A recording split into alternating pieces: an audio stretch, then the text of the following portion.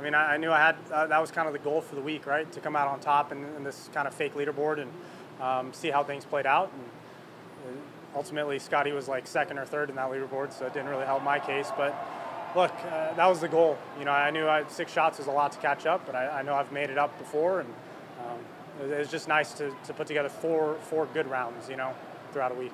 Honestly, very surprising. Um, I yeah, I, I knew I had to make the putt because I, I had a weird feeling he was going to make par, and I think he lipped out his par putt um, even after the bad chip. And um, look, I mean, I made the putt and it was two back, but like I said, like he's he's not going to just start making bogeys after that. Like he's going to do the opposite, and he's going to start hitting golf shots, and it almost like brought his focus back in uh, for a half second, and that's something you can't teach, and it's just like you either have it or you don't.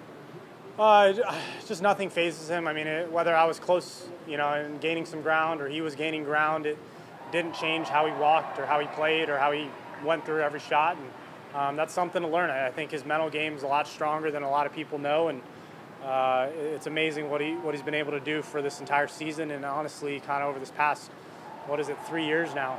Um, it's it's been really cool to watch, and, and hopefully, I can kind of draw something from that. Uh, I, got to start playing better, better final rounds. I mean, that's what it comes down to. I mean, it's not like I had to do anything special in, in a handful of those rounds. Um, it's not like you know I, I, didn't have to shoot 63s to win. You know, I was in these final groups. I don't know how many final groups I was in this year, but uh, enough to where I can think of a few um, easily off the top of my head. And, and, when you can do that, you know, you hope to think of think of the wins. So uh, I got to figure out how to not sustain the energy, but just sustain the golf and, and figure out you know, how do, how do we shoot a 500 in the final round where it's just kind of kind of effortless?